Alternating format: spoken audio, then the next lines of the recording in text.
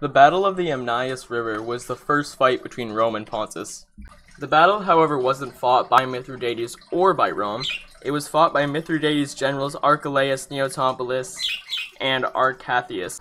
And on the Roman side, it was actually Nicomedes of Bithynia fighting for Rome.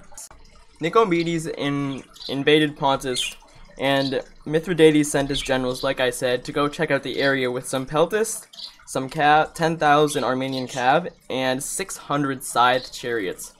The battlefield had a, had a river on the left and a hill on the right, and in between them was a plain.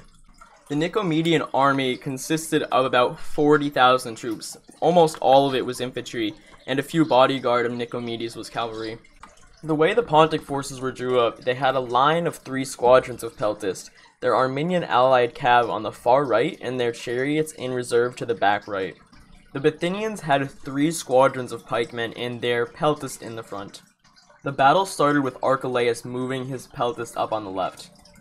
Arcathius seeing an opportunity, he went around the hill and behind the Bithynians.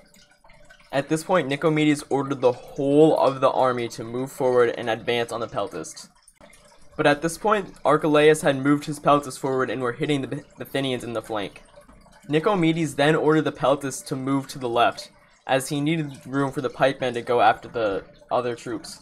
But this was the moment the three generals had waited for and ordered the scythed chariots into the peltast. And immediately after that, Archelaus had bellowed to Arcathius to move his cavalry forward and hit the Bithynians in the rear.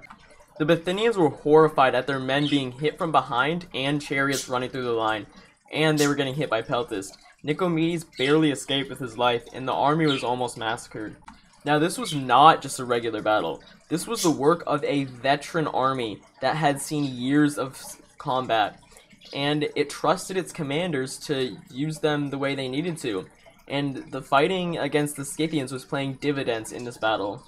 After the three generals had got the baggage train, Mithridates had become quite rich from it, and the mercenaries that were in its army had joined Mithridates' force, and his army actually grew after this battle, which is probably the funniest part.